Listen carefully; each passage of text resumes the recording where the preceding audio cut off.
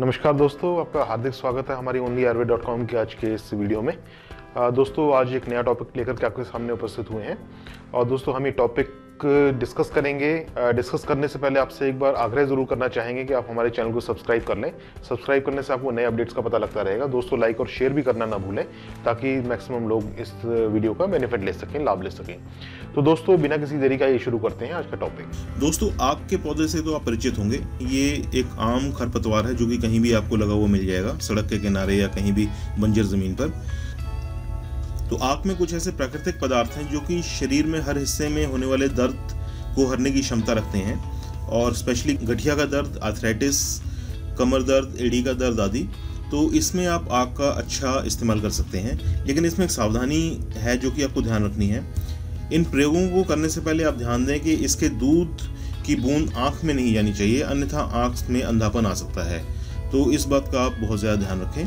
तो दोस्तों, आइए जान लेते हैं इससे क्या विभिन्न प्रयोग हैं। आग के पंद्रह फूलों को एक कटोरी में उबाल लें।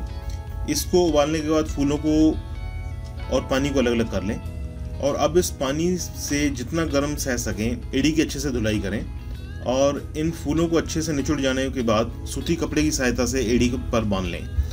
और इसके ऊपर से जुराब और जूते पहन लें। और यह प्रयोग आपको 10 से 15 दिन करना है और आपको काफ़ी फ़र्क दिखना चाहिए।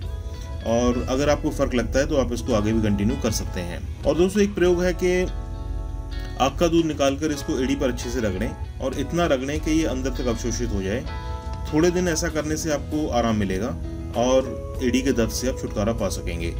तो दोस्तों, ये भी आप ज़रूर करके देखें, बहुत अच्छा प्रयोग है। और घुटनों के दर्द के लिए भी इसमें प्रयोग है।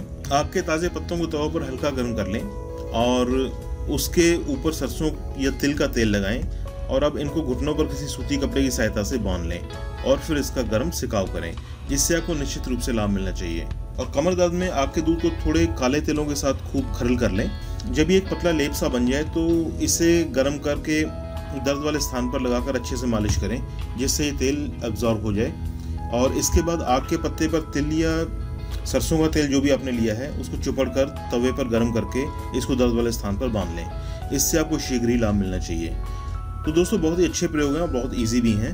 तो आप ये ज़रूर करके देख सकते हैं। आप ये करके देखें और आपको कोई प्रियजन है, उनके साथ भी ज़रूर शेयर करें। तो आप ये करें और आपको जो फीडबैक कमेंट्स आती हैं, वो हमारे साथ ज़रूर शेयर करें।